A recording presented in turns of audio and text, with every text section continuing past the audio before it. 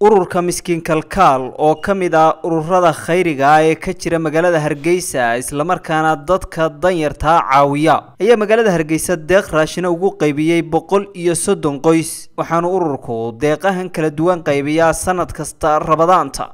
Cabdiqaadir warsame maxamuud guddoomiyaha ururka miskiin kalkaal iyo xubno kale oo ka tirsan ururkani ayaa ka warbixinaya deeqda ay qaybiyeen islamarkaana waxay baaq u direen ummadda muslimiinta inay ka soo qayb qaataan caawimada dadka danyarta ah.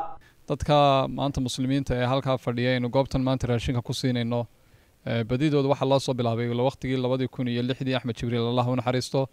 Masaajidkooda laga aasaasay axmed jibriil baa guddoomiye ka ahaa ilaahay ha naxariisto maanta wuu inaga hooseeyaa. Dadkaasi maanta waxay u baahan yihiin walaalayaal taakulayntiina iyo ka warhayntiina iyo gacansiintiina xaaladda waddanka aynu ku jirnana waa arkaysaano covid nneteen baa wax badan xayiray. Macalimiintii ma shaqayso madarisadii ma shaqeeyaan basaskii ma shaqeeyaan dadkana waa dad iska garab rarataa bay ahaayeen marka waxaa loo baahan yahay walaalayaal khayr allah idi siiyo.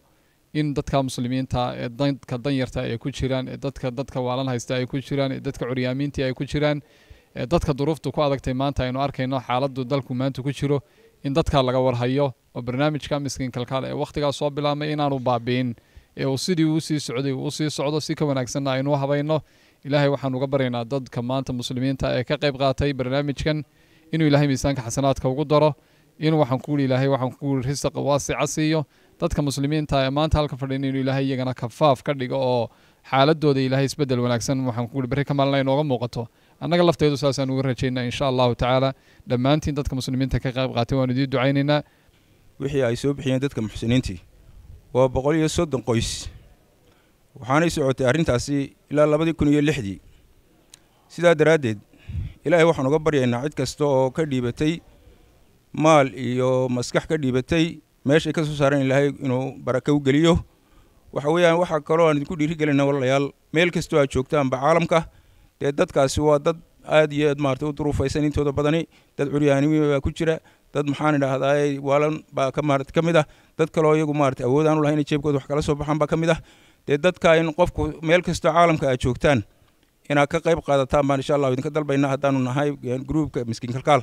Muxsiniinta waxaan ugu baaqaynaa qof kasta oo xanuun ka cabanaya oo ama ehelkiisa xanuun uga cabanaya inuu dadka masaakiintaa wax ku soo taro si ilaahay subxaana watacaala uu caafimaad ugu siiyo. Waxaa barnaamijkan qeyb weyn ka qaata shirkadda telesom gaar ahaana cabdikariin maxamediid labadaba ilaahay subxaana watacaala miisaanka xasanaadka allahu saaro. Ilaahay subxaana watacaala waxaan u weydiinaynaa bedel khayr qaba ilahay inuu siiyo. Dad kaloo muxsiniin oo iyaguna meelaha wax ka soo dirdiray ayaa jira iyagana ilaahay subxaana watacaala cawil khayr aqaaba allaha siiyo. Waxaa la rabaa markaa baaraka fiikum qof kastaa inuu ka qayb qaato kii af kaga qayb qaadanaya kii adin kaga qayb qaadanaya kii rayi wanaagsan iyo fikir wanaagsan soo jeedinaya kaga qayb qaadanaya. Intaba ilaahay subxaana watacaala walaalayaal ajar buu ku bixinayaa